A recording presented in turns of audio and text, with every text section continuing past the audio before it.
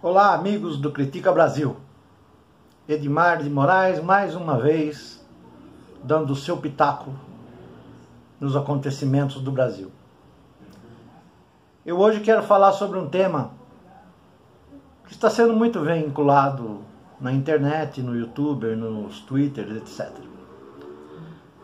Eu quero falar sobre a evolução do ódio no nosso país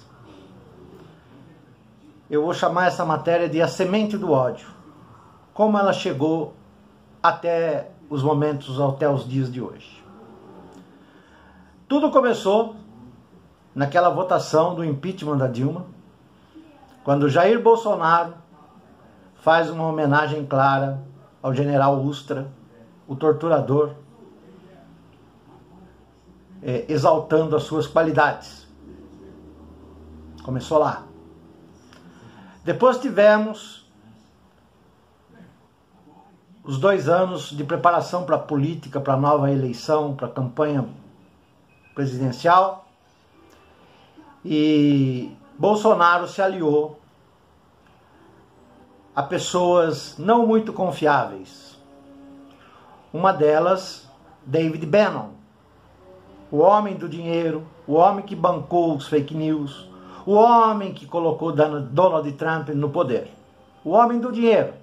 Esse cara trabalha, ele tem um, um formato de trabalho aonde ele investe nas mentes mais doentias, nas mentes menos capacitadas, e ali ele faz o seu discurso, a sua verdade, a sua ideia tomar proporção.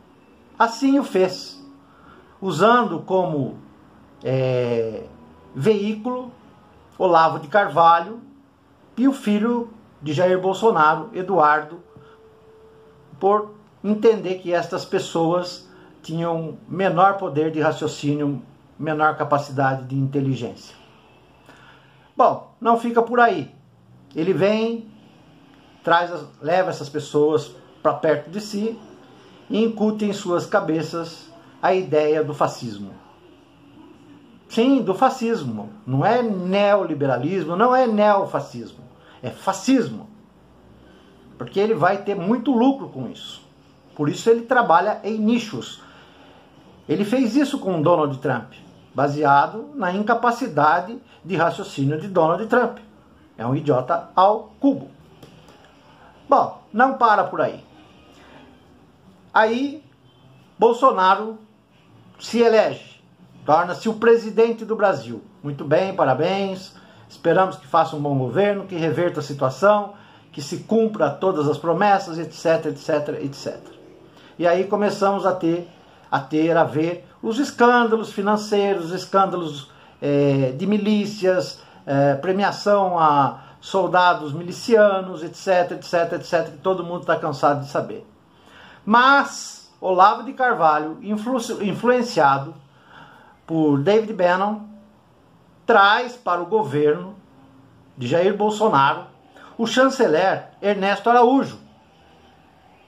Até então, um funcionário do Estado, sim, do Estado, da, da, da do, das relações né, exteriores, um funcionário David Bannon faz com que Olavo de Carvalho traga esse, esse senhor, esse rapaz, para a chancelaria, como ministro das Relações Exteriores do Brasil. E agora, nós acabamos de descobrir, e está vinculando, né, lógico, na internet, todo mundo está sabendo já, tal, eu só estou sendo redundante, mas eu quero dizer a origem da semente do ódio.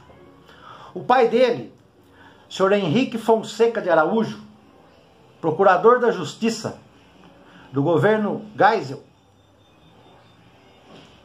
ele manteve sobre, sua, sobre suas asas, sobre o seu poder, o criminoso, o, o, o algoz mais terrível do nazismo, Franz Wagner da ele é era o general o general é, do campo de concentração de Sobibor, na Polônia. Esse senhor, senhor, esse indivíduo teve a capacidade, teve a capacidade de matar crianças que estavam sendo amamentadas e servi-las como comida. Imaginem que tipo de homem é esse que matou milhões de pessoas. Aí você vê que vem vindo toda um cultivo ao ódio, ao nazismo, o desprezo ao ser humano. E o nosso é, o nosso embaixador, o nosso ministro das Relações Exteriores, é, o Ernesto Araújo, cresceu neste ambiente, cresceu neste ambiente de fascismo, de nazismo, não de fascismo, de nazismo, aonde se tirava carne das pessoas que morriam e serviam para os que estavam vivos. E este homem, considerado a besta humana, o general é, Franz Wagner, da, da Alemanha, considerado a besta humana, ele, quando ele passava pelos corredores do campo de concentração, as pessoas o temiam. E se ele visse uma mulher, crianças, ele não tinha a menor o menor problema em tirar a vida, metralhar essa criança, esquartejar e servir como comida. Daí eu concluo: essa história, essa semente está sendo cultivada há longo, longo tempo no nosso país. Este mal dificilmente será cortado pela raiz. Infelizmente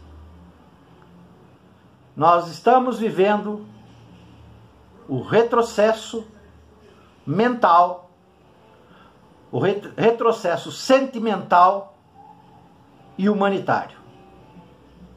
Enquanto tudo isso não se resolver, infelizmente, meus amigos do Critica Brasil, não teremos paz e tragédias continuarão acontecendo. Até mais, Edmar de Moraes mais uma vez, falando a verdade, doa quem doer. Abraço a todos.